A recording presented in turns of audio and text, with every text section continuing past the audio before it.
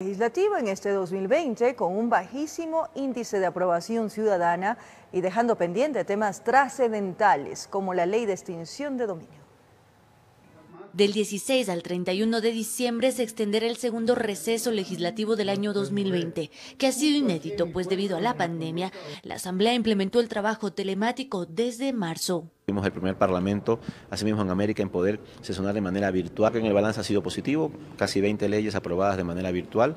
Que vía telemática hemos sesionado mucho más de lo que presencialmente incluso se sesiona. Efectivamente, el trabajo remoto disminuyó los índices de ausencia de los legisladores, aunque para algunos el trabajo del 2020 deja pendientes. Todavía falta porque estos temas, tanto el carnet de discapacidad, eh, lo que también de las leyes anticorrupción, la reforma agraria, es algo que ya teníamos para cerrar y para irnos a la vacancia legislativa ya tenía que haber sido tratado. Otro de los pendientes importantes y que está a la cola es la ley de extinción de dominio, cuyo segundo debate ya fue clausurado y solamente falta la votación. El pueblo ecuatoriano quiere recuperar lo robado, señores asambleístas. Señor presidente Litardo, hay un compromiso con la ciudadanía.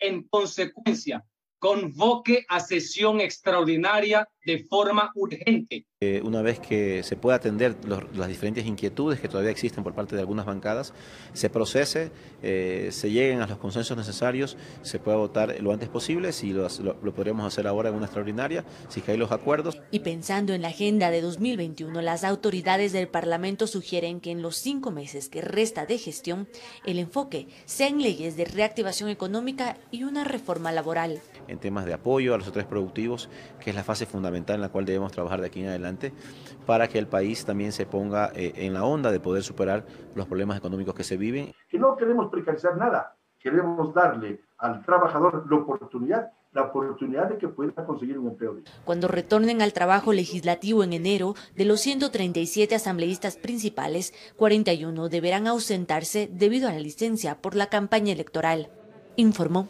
Carolina Basante.